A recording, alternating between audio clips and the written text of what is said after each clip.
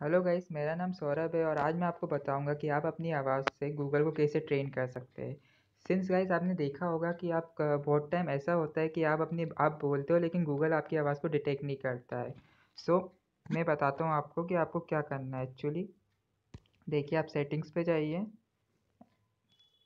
And okay Google detection retrain mode क्योंकि मैंने अपनी वॉइस पहले डाल चुका हूँ उसके लिए मैं इसको रिट्रेन पे जाऊँगा। अब देखिए जब भी आप इसमें बोलते हैं कि okay Google okay Google but ये हमेशा लिसनिंग पे ही रहता है, ये ओके गूगल आगे बढ़ नहीं पाता है। तो इसका सिंपल सी प्रॉब्लम ये है कि अगर आपको ओके गूगल बोलना है तो आपको ओके गूगल एक ही वॉइस में, एक ही ट्यून में बोलते जाना है। Means okay Google okay Google okay Google because Google क्या करता है?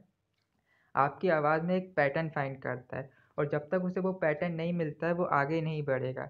इसलिए आपको कुछ नहीं करना है, आपको ओके गूगल ओके गूगल बोलना है सेम वॉइस में सेम टोन में बोलते जाना है। अगर आप ये करोगे तो गूगल आपकी वॉइस का एक पैटर्न मैच करेगा और जब उसको वो तीन सिमिलर पैटर्न मिल जाएगा, जब यहाँ पे टिक लग के सेकेंड बार आ जाएगा, यही काम आपको तीन बार करना है तो आपका ओके गूगल डिटेक्शन हो जाएगा। सिंस शॉमी फ़ोन में सबसे ज़्यादा प्रॉब्लम होती है एंड इसके पहले आपको एक और चीज़ देख लेना, अगर आप शॉमी फ़ोन यूज़ कर रहे हैं तो उसमें ये देख लेना कि आपको वॉइस मॉडल मतलब आपने परमिशन दी है कि नहीं और आपके, आप अपने माइक्रोफोन को देख लें सिंस कभी कभी आप कवर लगाते हैं अपने माइक अपने मोबाइल में तो उसकी वजह से जो माइक्रोफोन है वो दब जाता है, उसकी वजह से भी डिटेक्शन में प्रॉब्लम जाती है। सो ये कुछ टिप्स है, इसको आप देख लीजिए और हाँ आपको ओके गूगल सेम वॉइस में सेम टोन में बोलना है तो वो आपकी वॉइस को डिटेक्ट कर लेगा। आप ट्राई करिए और आपको कुछ होता है तो आप कमेंट सेक्शन में मुझे बता सकते हैं, मैं आपको हेल्प कर दूँगा। Thank you target